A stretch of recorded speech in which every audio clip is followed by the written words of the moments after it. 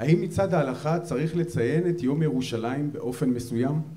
לגבי יום ירושלים, ובכלל כל נס שמתרחש לעם ישראל, החובה שלנו להודות ולהלל ולשבח את הקדוש ברוך הוא. ומלחמת ששת הימים זה אחד הניסים הגדולים ביותר שהיו בדור שלנו. המבוגרים עוד זוכרים, שש מדינות, מצרים, סוריה, ירדן, לבנון, עיראק, באו מתנדבים גם מערב הסעודית להילחם איתם. ועשו קואליציה ענקית של מדינות. איפה היה הגבול הירדני? בתוך ירושלים.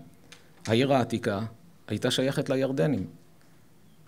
והגבול בין ירדן לישראל היה באזור שם של שמואל הנביא, הם כולם נוסעים שם בקלות, פה היה הגבול.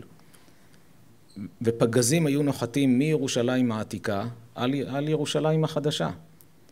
אחרי ששת הימים אמרו שבזה נרמז מה שאמר דוד המלך בתהילים, כעיר שחוברה לה יחדיו, תמיד היה קשה להבין מתי ירושלים הייתה מפוצלת שחיברו אותה.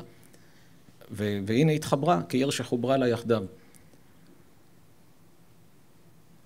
מספר המטוסים שהיה לארצות ערב יחד היה פי כמה וכמה ממספר המטוסים של ישראל. החיילים שהיו להם, ככל אשר על שפת הים, אי אפשר להשוות בכלל למספר של החיילים שהיה לעם ישראל.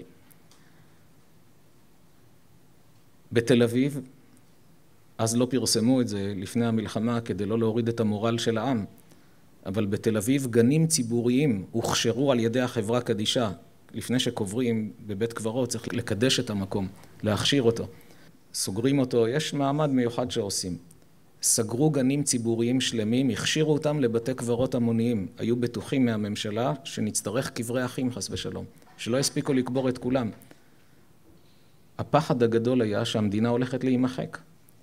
מי חלם שתוך שישה ימים מסרת גיבורים ביד חלשים ורבים ביד מעטים, אז אמנם גדולי המקובלים היו צדיקי עולם באותו, באותה תקופה.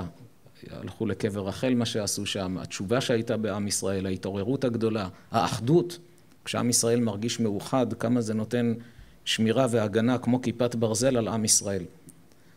בתוך שישה ימים ניצחו את כולם ועוד כבשו, ירושלים הפכה להיות של עם ישראל. זה לא יאומן כי יסופר.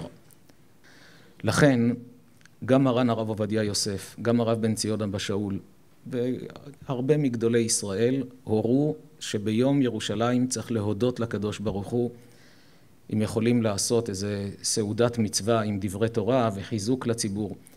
לומר הלל, אין היום סמכות לאף אחד לתקן הלל, לא ביום ירושלים ולא ביום העצמאות, לא, לא, לא אומרים הלל. מי שרוצה לומר הלל ביום העצמאות יאמר בלי ברכה.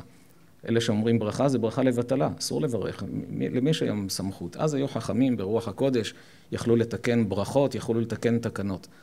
אבל להימנע מאמירת תחנון, ההוראה שלהם הייתה ביום ירושלים לא לומר תחנון, וכל אדם צריך למצוא את הדרך שלו איך להודות לבורא עולם על הנס הגדול הזה שעשה לעם ישראל.